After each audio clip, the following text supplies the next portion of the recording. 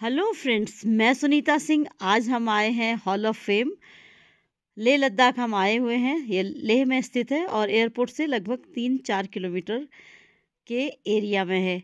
तो आज मैं भी आपको टूर कराती हूँ हॉल ऑफ़ फेम का, जो कि भारत के उन सभी बहादुर सैनिकों की याद में भारतीय सेना द्वारा बनाया गया है। ये एक म्यूज़ियम है। इसमें लेह लद्दाख के जो सांस्कृतिक विरासत है, उसको दिखाया गया है।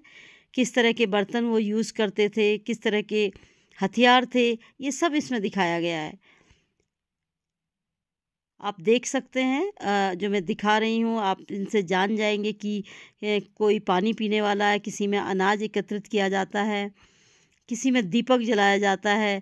तो ये ये जो मैं दिखा रही हूँ, बैम्बू का है, बाँस का है, और इसमें चाय बनाई जाती थी। तो जो यहाँ सैनिक उपस्थित थे, उन्होंने ही बताया कि इसमें चाय बनाई जाती थी। ये लौकी का है, जो कि सुखा के इसमें अनाज भरा जाता है, ये हमारे उत्तराखंड में भी किया जाता था। बचपन में हमने देखा है। तो वही है, ये मास्क हैं, इसको पहन के नृत्य किया करते होंगे। ये ड्रैगन्स हैं, यहाँ की पहचान। तो ये एक म्यूज़ियम है।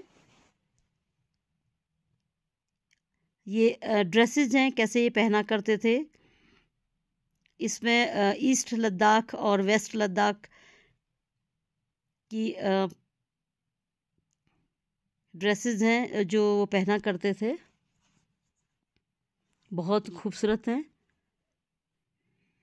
साथ ही इसमें भारतीय सैनिकों के द्वारा प्रयोग किए गए हथियार भी हैं और जो उन्होंने कैप्चर किए थे।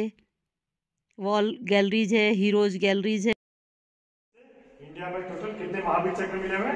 दो सौ उन्नीस। इसमें से छह लोग ऐसे हैं, जिनको दो बार महावीर चक्र से सम्मानित किया लड़ते हुए दो बार जान की परवाह किए बिना और उनको जो टास्क मिला था, यहाँ पे थे यही के उन्होंने पाकिस्तानी आक्रमणकारियों को भगाया था। टू का वार जो है स्टार्ट हो गया था। चाइना ने अचानक अटैक किया था। उस समय वो कहा थे? छुट्टी पे थे। उनको बुलाया गया और यहाँ से उन्होंने जो है, यहाँ से डेढ़ सौ किलोमीटर पैदल चल के जो माउंटेन एरिया जिसमें बर्फ़ पड़ी हुई थी उस समय, अक्टूबर, नवंबर का महीना, और वहाँ जाने के बाद उन्होंने जो है, पाकिस्तानी सेना से आक्रमण किया, लोहा लिया, उसमें उनको सेना देख सकते हैं, वहाँ विज़िट कर सकते हैं फोटोग्राफी कर सकते हैं। तो वहाँ पर पहुँच के उन्होंने, उनको टास्क मिला था उस नुबरा वैली को बचाने का।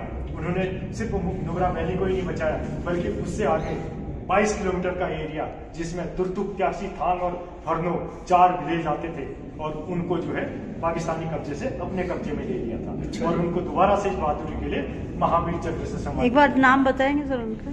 कर्नल चेवांग। ने बताया कर्नल चेवांग रेंचन के बारे में। ये बाहर का एरिया है। बहुत सुंदर जगह है और पीछे आप बैकग्राउंड में देख सकते हैं। खूबसूरत नज़ारा है पहाड़ों का और बादल।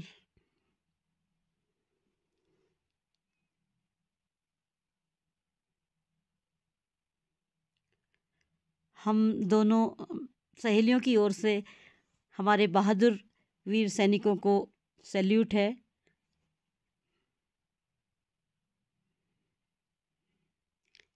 आपका बहुत बहुत धन्यवाद।